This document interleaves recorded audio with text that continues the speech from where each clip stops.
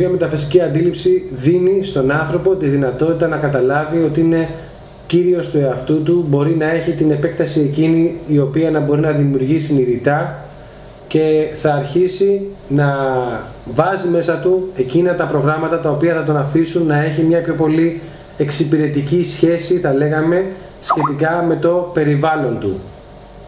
Κάθε φορά λοιπόν εμείς καλούμαστε να δώσουμε ο καθένας στο μέτρο που μπορεί ορισμένα κλειδιά, εργαλεία για να σας φέρουμε πιο κοντά με τον δικό σας εαυτό, με αυτό που θέλετε πραγματικά, με τη δική σας επέκταση θα μπορούσαμε να πούμε, έτσι, γιατί κάθε εσάρκωση, κάθε μέρα, κάθε ώρα, κάθε στιγμή έχουμε τη δυνατότητα να επιλέξουμε τον μέγιστο εαυτό μας.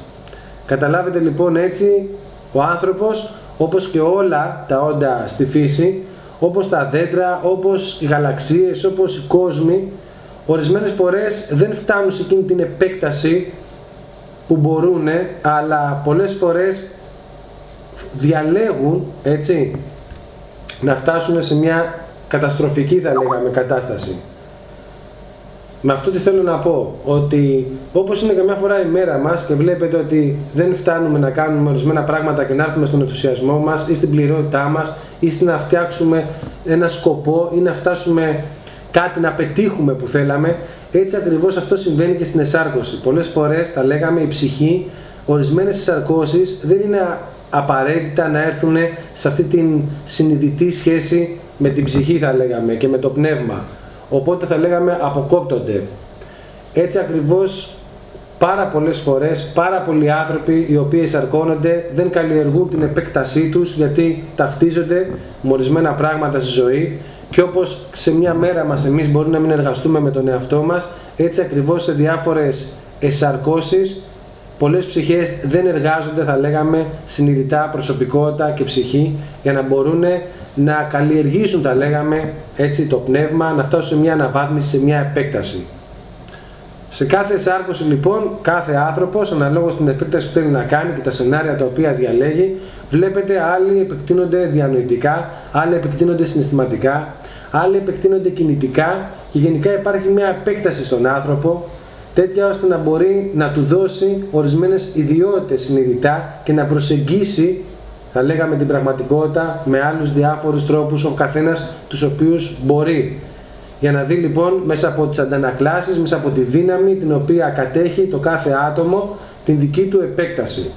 Όμως τι γίνεται; Πολλοί άνθρωποι δεν δίνουν σημασία στην ε, αξίωση της διαφορετικότητάς τους. Με λίγα λόγια απαξιώνουν τη διαφορετικότητα που έχουν έτσι ώστε να μην αφήνουν τον εαυτό τους να επεκταθεί κατάλληλα και να δουν τις δυνατότητές τους. Αυτοί σε εισαγωγικά θα λέγαμε είναι καρποί που δεν ευδοκίμησαν. Είναι θα λέγαμε οι άνθρωποι που δεν είδαν τη δύναμή τους. Και ο άνθρωπος στην πραγματικότητα και σαν ολόκληρη ανθρωπότητα και σαν άνθρωπος ατομικά έχει την δυνατότητα να κάνει πάρα πολλά πράγματα και ένα από αυτά είναι να παίξει ο ίδιος τον δημιουργό. Επομένως έχουμε φτάσει σε μια κοινωνία όπου οι περισσότεροι άνθρωποι έχουν μηχανοποιηθεί τόσο πολύ οι οποίοι δεν φτάνουν στην δική τους επέκταση παρά μόνο δουλεύουν σαν ανταλλακτικά σε μεγαλύτερο θα λέγαμε μηχανές και δεν φτάνουν στην δική τους ατομική συνειδησιακή κατάσταση. Αυτό που λέμε δηλαδή κοινά να πάρουν τη δύναμη πίσω.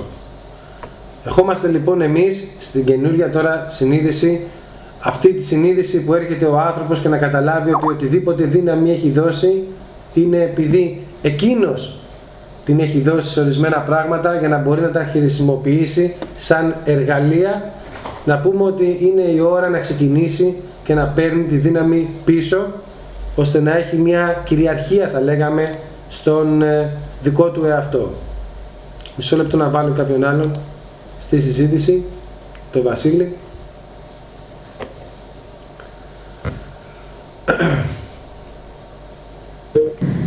Βασίλη, ακούς; Ναι, ναι, ακούω εγώ, εντάξει. Καλησπέρα, έχουμε ξεκινήσει.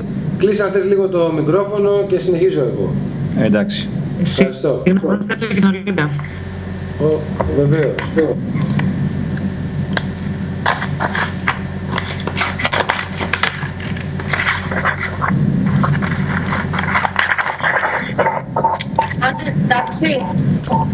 Εντάξει. Μας ακούς Ολυμπία; Γεια σου Ολυμπία. Γεια σου Ολυμπία. Αν, θέλ- αν θέλετε μέχρι να ξεκινήσουμε τις ερωτήσεις, ε, αυτοί που μπήκανε τώρα να σιγάσετε λίγο τα μικρόφωνά σας και συνεχίζουμε με αυτό που λέγαμε. Λοιπόν, για τους φίλους που ήρθαν τώρα, έτσι εντάχει λέμε ότι σήμερα συζητάμε για τη νέα μεταφυσική αντίληψη, το πόσο ο άνθρωπος θα πάρει πίσω τη δύναμή του και τις επεκτάσεις τις οποίες έχει σαν άνθρωπος και σαν ανθρωπότητα. Αυτή τη στιγμή όλοι μαζί, όλοι μαζί είμαστε σε ένα πεδίο που η ανθρωπότητα έχει ενός τύπου θα λέγαμε επέκταση και αυτή η επέκταση θα λέγαμε ότι είναι αυτή η κίτρινη ακτίνα όπως λέμε κοινώς και μαθαίνουμε όλοι ακριβώς το εγώ μας μέσα από την κοινωνικότητα. Μαθαίνουμε όλοι την, το εγώ μας μέσα από τις αντανακλάσεις τις οποίες υπάρχουν γύρω μας. Από τους άλλους εαυτούς.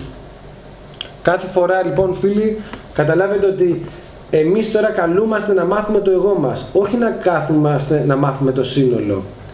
Αυτό το σύνολο, αυτή την σχέση, αυτή την αγάπη θα έρθει αφού το κάθε ένας από εμάς έχει ισχυροποιήσει μέσα του θα λέγαμε την... Ε...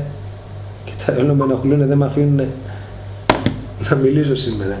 Έχεις ισχυροποιήσει μέσα του την κυριαρχία, έχεις ισχυροποιήσει μέσα του την ολότητα, έχεις ισχυροποιήσει μέσα του εκείνον τον ολικό εαυτό που του δίνει τη συνειδητή σχέση με όλα και όχι την ασυνείδητη.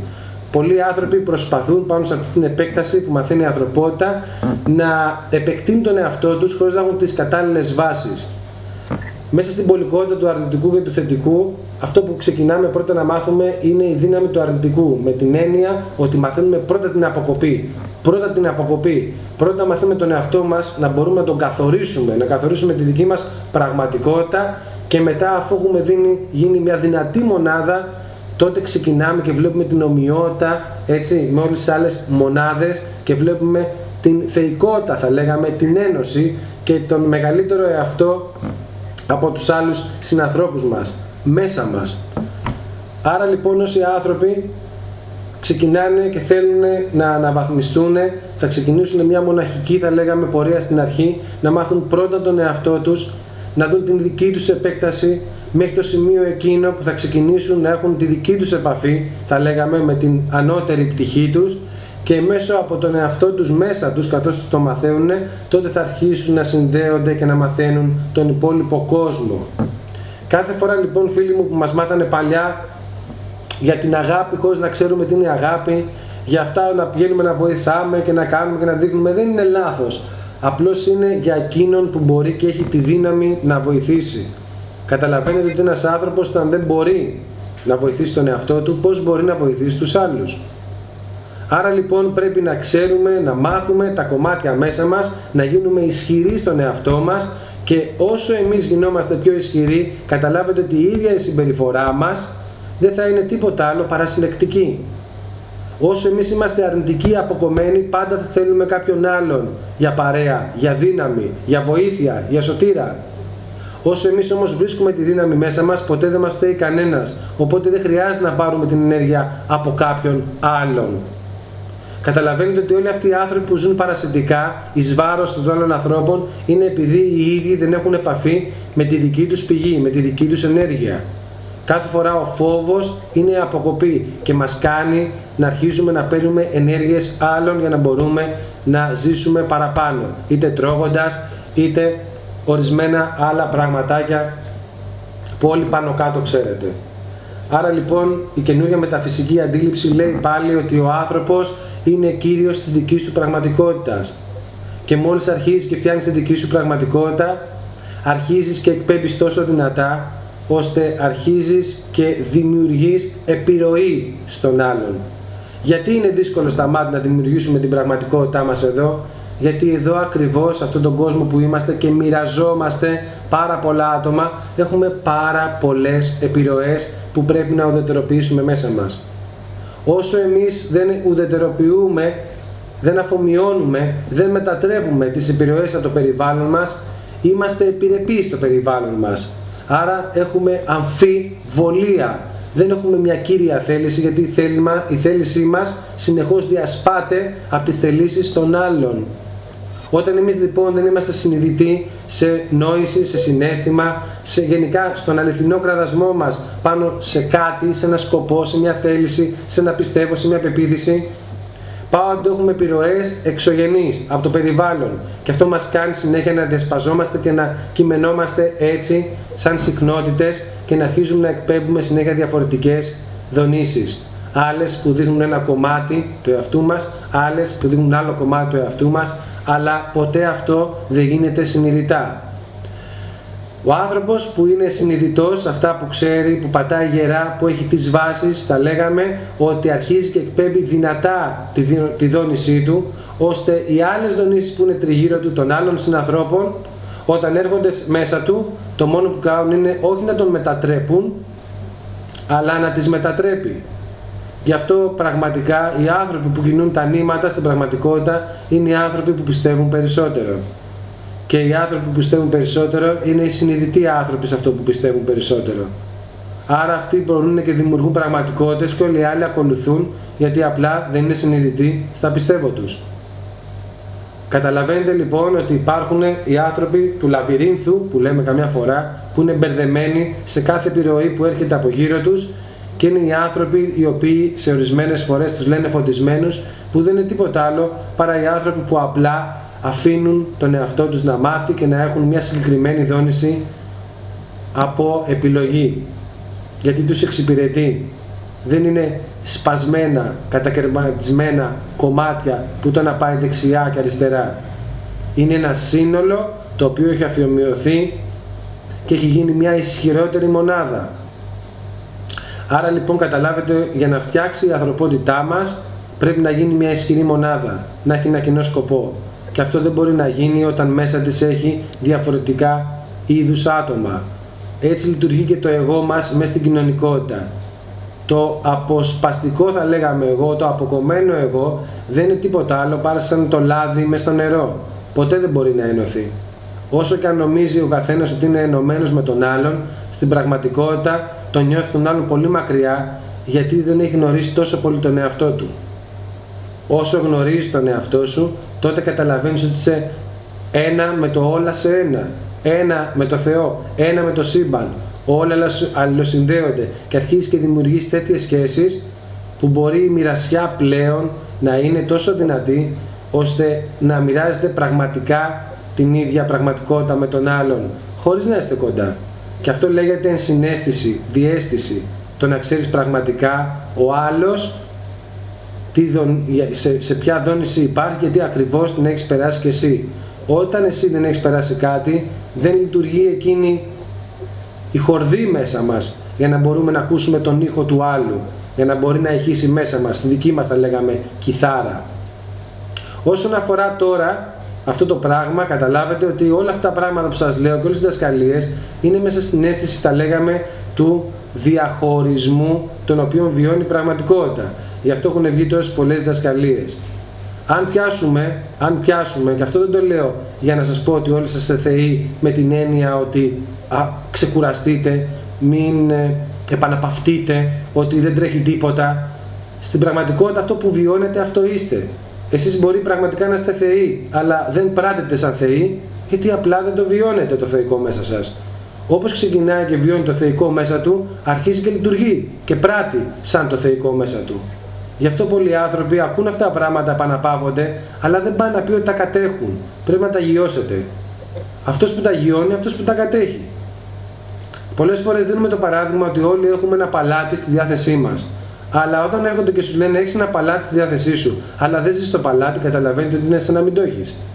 Όταν λέμε λοιπόν ότι έχετε ψυχή, είστε πνεύματα, είστε αιώνιοι, είναι φυσικό ο καθένας να αρχίζει να το παίρνει και να λέει εντάξει, μωρέ και τι έγινε, Όμως, όποιος δεν το κατέχει πραγματικά, όποιος δεν το βιώνει πραγματικά, βιώνει άλλα πράγματα. Δεν βιώνει ψυχή, δεν βιώνει αιωνιότητα, δεν βιώνει Θεό. Βιώνει μόνο το κορμί του, τη σάρκα του, τις πεπιθήσεις του, το πρόγραμμα που λειτουργεί. Στο έργο το Matrix πολύ καλά λέει ότι οι άλλοι άνθρωποι είναι προγράμματα. Έτσι στην πραγματικότητα είστε ένα ηλεκτρομαγνητικό πεδίο πάνω από το κεφάλι σας. Αυτό είσαστε. Μόλις πεθάνετε, αυτό το ηλεκτρομαγνητικό πεδίο αρχίζει και χάνεται και σβήνει. Πάει η υπόσταση. Γιατί δεν έχεις συγχωνευτεί με το μεγαλύτερο ηλεκτρομαγνητικό πεδίο, θα λέγαμε, που μπορεί και ανεβαίνει στα πιο εθερία κομμάτια του σύμπαντος.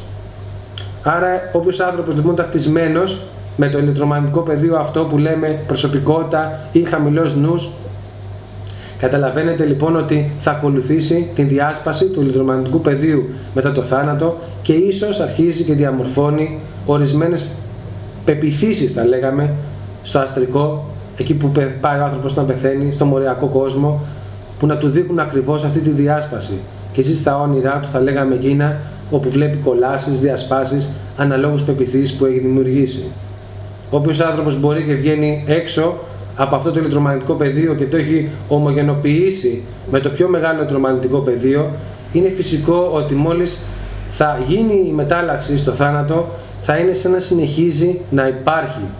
Γιατί θα διατηρεί μια σχέση. Δεν λέω ανάμνηση, θα πω σχέση καλύτερα, γιατί η μνήμη πάντοτε έρχεται για τον άνθρωπο που αρχίζει και ζει στο τώρα, αναλόγως το τι θέλει εκείνη τη στιγμή να χρησιμοποιήσει σαν πληροφορία. Πάβει απλά να είναι μνήμη και είναι μια πληροφορία της στιγμής για αυτό που θέλει, την ώρα που θέλει, που τον εξυπηρετεί καλύτερα.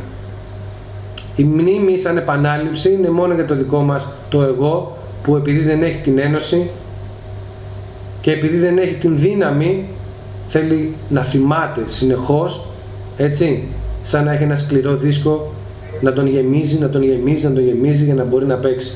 Αυτός ο υπολογιστής όμως που έχει το ίντερνετ είναι φυσικό να μην χρειάζεται κανένα σκληρό δίσκο. Γιατί έχει απλά το ίντερνετ.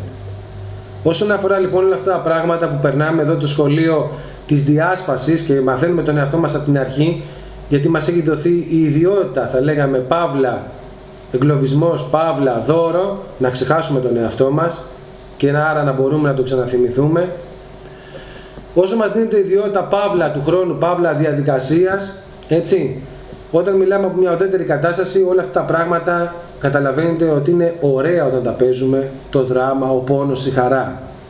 Από ένα σημείο και μετά όμως, φτάνουμε σε μια κατάσταση όπου όλα είναι ένα, φεύγουμε από την πλάνη και καταλαβαίνουμε μετά την ενότητα. Αυτή η ενότητα μπορεί να γίνει, θα λέγαμε, αντιληπτή σε εμάς με ένα παράδειγμα που θα σας πω, ότι οι, εσείς οι μανάδες που έχετε ή οι άνθρωποι που αγαπάτε τα παιδιά σας καταλαβαίνετε ότι πολλές φορές φανταστείτε ότι τα παιδιά σας έχουν πάει στα ξένα και ότι έχετε τρία παιδιά και αυτά τα τρία παιδιά κάνουν τη δική τους ζωή. Φύγανε από το σπίτι γιατί θέλανε να δούνε την πραγματικότητα μόνοι τους και να κάνουν τη δική τους τα λέγαμε ζωή. Και σας παίρνουν τηλέφωνο και σας λένε ότι μάνα ξέρεις κάτι θέλω να γυρίσω να σε δω Πατέρα θέλω να γυρίσω να σε δω. Γονείς μου θέλω να σας δω και μου έχετε λείψει. Και πραγματικά ξέρετε ότι τα παιδιά σας λείπουν. Έτσι νιώθει η πηγή. Ότι λείπουν τα παιδιά, ότι έχουν πάει ένα ταξίδι και τα περιμένει να γυρίσουν πίσω κάθε έναν από εμάς. Κάθε έναν από εμάς. Είμαστε τα παιδιά. Και έρχεται το ένα παιδί λοιπόν με μια Jaguar, έρχεται το άλλο παιδί με ένα Autobianchi, έρχεται το άλλο παιδί με μια Mercedes, έρχεται το άλλο το παιδί με ένα φορτηγό και αφήνουν όλοι απ' έξω τα αυτοκίνητά τους, αφήνουν όλοι απ' έξω τα οχήματά τους και όταν έρχονται μέσα έρχονται και αγκαλιάζουν τους γονείς και οι γονείς λοιπόν κλαίνουν από τη χαρά τους. Και οι γονείς λοιπόν τους αγαπάνε, οι γονείς τους καλοδέχονται και τους υποδέχονται και δεν τους νοιάζει με ποιο αμάξι θα φύγει μετά ο άλλος. Αυτό είναι η πηγή, έτσι νιώθει η πηγή. Έτσι νιώθει το όλα σένα όταν κάθε κομμάτι έρχεται πάνω της. Δεν χρειάζεται, δεν την νοιάζει με τι αμάξι ήρθες. Είτε έρχεσαι λοιπόν με τα ηλιακά σώματα, είτε έρχεσαι σαν ζώο, είτε έρχεσαι σαν άνθρωπος, είτε έρχεσαι σαν άγγελος, δεν νοιάζει τον πατέρα και τη μητέρα, γιατί τον νοιάζει η ουσία. Αυτό που πραγματικά είσαι. Φεύγοντας λοιπόν μετά τη χαιρετούρα και την επανασύνδεση για μια άλλη κοσμική ημέρα ξαναφεύγει ο καθένας με το ανάλογο αμάξι που έχει πάρει και που έχει φτιάξει για να συνεχίσει λοιπόν τη δική του ζωή. Και αυτό γίνεται γενικά στις μέρες και στις νύχτες τις κοσμικές, τις αναπνοές θα λέγαμε του Θεού όπως έχετε ακούσει. Άρα λοιπόν μες στην αιωνιότητα όλοι είμαστε αιώνιοι. Καλούμαστε όμως, επειδή έχουμε διαλέξει να παίξουμε αυτό το σχολείο εδώ, το σχολείο της γνώσης, του δέντρου, του, του καλού και του κακού, να φύγουμε από την Εδέμ, να δοκιμάσουμε το μήλο, να γεμίσουμε ντροπή, να γεμίσουμε κατάκριση, να γεμίσουμε όλες τις αρνητικές δονήσεις για να βρούμε τις θετικές μέσω της πάλης των αντιθέτων και μετά συνειδητά να ξανανεύουμε στην Εδέμ. Και αυτό, είναι ένα, και αυτό θα σας πω τώρα άλλη μια παραβολή για να καταλάβουμε τι σημαίνει αυτό. σημαίνει ότι έχει διαφορά το πώς εμείς βιώνουμε έτσι, την αποκοπή κάθε φορά. Φανταστείτε ότι έχουμε μια κανάτα γεμάτη με νερό, ότι αυτή είναι η συνείδησή μας. Αυτή είναι η ουσία μας. Και την κανάτα με νερό αρχίζουμε και τη χύνουμε λοιπόν σε ισόποσα σφινάκια, άλλο είναι κόκκινο, άλλο είναι κίτρινο, το ποτήρι, άλλο είναι μπλε, όλα τα χρώματα της ήρυδας. Και μετά αυτά τα σφινάκια έχουν, τα παίρνουμε, τα ξαναβάζουμε πάλι στην κανάτα. Και δίπλα έχουμε μια κανάτα που ποτέ δεν την αδειάσαμε στα χρωματισμένα σφινάκια. Αυτό ακριβώς γίνεται έτσι και οι άνθρωποι μπερδεύουν και λένε ότι η μία κανάτα με την άλλη κανάτα είναι ίδια και βλέπουν το νερό ίδιο. Όμως το ένα νερό έχει μια διαφορά. Έχει την εμπειρία των χρωμάτων, των δονήσεων, από τα σφινάκια που μπήκε μέσα. Αυτή είναι η συνείδηση. Αυτή είναι η συνείδηση που όλοι έχουμε μέσα μας. Είμαστε το ίδιο, σε διαφορετικά σφινάκια, με διαφορετικό χρώμα. Όμως, όταν επανσυνδέεται μέσα η πηγή, παίρνει όλη την εμπειρία και έχει τη δύναμη να φτιάξει κι άλλα σφινάκια την επόμενη φορά που θα αρχίσει την κανάτα πάλι και θα τη μοιράσει. Αυτό ακριβώς, φίλοι μου, γίνεται κατ' εικόνα και ομοίωση. Γίνεται και μέσα μας. Μέσα μας λοιπόν τι έχουμε, τα μικρά σφινάκια που λέμε εγώ. Αλλά επειδή είναι τόσο μικρά, στην κατάσταση των fractals που βρισκόμαστε εμείς, στην απομάκρυνση θα λέγαμε από την πηγή, είναι τόσο μικρά τα σφινάκια πλέον στη δική μας μικρή κατάσταση που έχουμε μέσα μας, που αυτά τα σφινάκια δεν μπορούν να νιώσουν την ενότητα. Κάθε φορά λοιπόν μέσα μας έχουμε αυτά τα μικρά σφινάκια που λέμε τα διάφορα εγώ, διάφορες πεπιθήσεις, οι διάφορες πραγματικότητες που όμως κάθε μία είναι ικανή να συλλαμβάνει ένα ποσό από τη συνείδηση, τόσο μικρό που να μην μπορεί να ενθυμηθεί τον εαυτό της. Αυτά τα σπινάκια μέσα μας πρέπει να τα βάλουμε στη μεγάλη κανάτα του εαυτού μας και να έχουμε όλη την εμπειρία. Τίποτα δεν πετάμε. Δεν υπάρχει αναβάθμιση συνείδησης που να πετάει κάτι. Υπάρχει αναβάθμιση συνείδησης γιατί μαζεύει κάτι. Γίνεται περισσότερο. Αυτός ο άνθρωπος που αναβαθμίζεται γίνεται γνώση του καλού και του κακού καλύτερα. Μαθαίνει περισσότερο και από τα δύο. Άρα δεν πετάμε τίποτα. Απλά αφομοιώνουμε όλα τα σφινάκια τα μικρά, τα δικά μας, στη δική μας κανάτα. Είναι φυσικό λοιπόν τα σφινάκια σαν γυάλινος περιορισμός, σαν το γυαλί, ναι δεν θα υπάρχουν, όμως το νερό, η ουσία που έχουν μέσα πρέπει να πέσει στη δική μας κανάτα. Κάθε φορά που εμείς λοιπόν, κάθε ένα σφινάκι το οποίο λέγεται εγώ, κάθε μια ιδιότητα την αγαπάμε, δηλαδή την γνωρίζουμε, δηλαδή την συγχωρούμε, δηλαδή γινόμαστε ένα δηλαδή την οδοτεροποιούμε χωρίς κατάκριση, θετικό αρνητικό, χάνεται η πολικότητα η αντίστασης. Και αυτόματα όπου δεν υπάρχει πολικότητα, πάβει να υπάρχει ένα κύκλωμα. Πάβει να υπάρχει αυτό το ηλεκτρομαγνητικό πεδίο και αυτόματα συγχωνεύεται στο μεγαλύτερο ηλεκτρομαγνητικό πεδίο. Πάβει να υπάρχει αυτή η μικρή συχνότητα και αυτόματα συγχωνεύεται στη μεγαλύτερη αυτομάτω συχνότητα. Έτσι γίνεται όλα στο σύμπαν. Έτσι γίνεται όλα και στα υλικά πράγματα, έτσι γίνεται όλα στα συναισθηματικά, έτσι γίνεται όλα στα αστρικά, έτσι γίνεται παντού. Κάθε φορά λοιπόν, αυτό είναι που λέμε ανακύκλωση. Αλλά υπάρχει και η θετική γέννηση, υπάρχει θα λέγαμε και η αρνητική γέννηση. Κάθε φορά που εμείς ουδετεροποιούμε μπορούν να γίνουν δύο πράγματα και αυτά είναι πάλι λιγορικά με την ουρά του σατανά ή την κουταλίνη που ανεβαίνει. Κάθε φορά τα τρία όταν έρχονται μαζί δημιουργούν Κάθε φορά τα τρία όταν έρχονται μαζί δημιουργούν και τις δύο κατευθύνσεις τις οποίες εμείς διαλέγουμε πώς θέλουμε να τη δημιουργήσουμε. Να επεκταθούμε σαν, σαν εκπνοή ή να φέρουμε στο κέντρο μας σαν εισπνοή. Τίποτα δεν είναι κακό. Είναι επέκταση, είναι αφομοίωση, είναι επανακαθορισμός. Τίποτα όμως δεν είναι κακό και καλό. Αυτά είναι μέσα στη συναισθηματική πολικότητα η οποία έχει φτιαχτεί για να μπορεί ο άνθρωπος να βρει λίγο τον εαυτό του μέσα στο συνέστημα. Μετά το συνέστημα αρχίζει και έρχεται απλά η συγκίνηση. Η ενέργεια σε κίνηση. Αυτό είναι η καρδιά. Άρα δεν χάνεται ποτέ, θα λέγαμε, το τι νιώθεις για τον άλλον, χάνεται το συνέστημα, το συν στο αίσθημα, η πόλωση στο αίσθημα. Και έρχεται απλά μια συγκίνηση μετά. Γιατί από την κίνηση δημιουργούνται όλα. Άρα λοιπόν μέσα μας όταν θέλουμε να φύγουμε από το συνέστημα που είναι η πολικότητα και αντιλαμβανόμαστε διανοητικά τη συγκίνηση θα λέγαμε ουδετεροποιούμε το νου μας και πάμε κατευθείαν στη συγκίνηση χωρίς να δίνουμε πολικότητα και να γίνεται συνέστημα. Και αυτή είναι η επόμενη φάση του ανθρώπου που θα φύγει λοιπόν από την τρίτη ακτίνα, θα λέγαμε, όπου είναι η κίτρινη, στα χρώματα τα οποία καταλαμβάνουν σαν τσάκρας θα λέγαμε και θα αρχίσει να μπαίνει στην πράσινη όπου αρχίζει και καταλαβαίνει τον εαυτό του σαν ενωτικό στοιχείο μέσα σε όλα σε ένα. Σαν ένα ποτήρι από την ίδια κανάτα. Και μόλις αρχίζει και το καταλαβαίνει αυτός ο άνθρωπος, ο άνθρωπος αλλάζει και η συμπεριφορά του. Και κάθε άνθρωπος που θα φτάσει σε αυτό το επίπεδο να καταλάβει ότι όλοι έχουμε το ίδιο πράγμα μέσα μας, δεν θα τον νοιάζει να είναι όμοιος, δεν θα τον νοιάζει να είναι ίδιος, θα αγαπάει το ζώο, το ίδιο σαν τη μάνα του, σαν τη μύγα, σαν όλα τα πράγματα.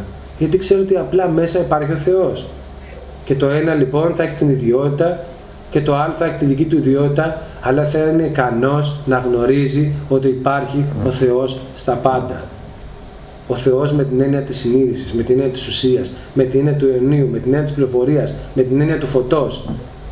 Έτσι λοιπόν όταν ξέρεις ότι κάθε τι είναι δική σου οικογένεια και είναι από το ίδιο κομμάτι πλασμένο σαν και σένα, το μόνο που έχεις να κάνεις είναι να πάρεις το παιχνίδι, να το παίξεις, να γευστείς, χωρίς να χρειάζεται να κατακρίνεις, χωρίς να χρειάζεται να απολώνεσαι ενάντια, αρνητικά, με μίσος, απλά να χρησιμοποιείς ακόμα περισσότερο την πληροφορία πιο άμεσα που σου δίνει χωρίς να χρειάζεται να έχεις αυτόν που λέγαμε τον πόλεμο και τότε καταλαβαίνεις ότι κάθε οδός, είτε αρνητική είτε θετική, έχει την ίδια αξία.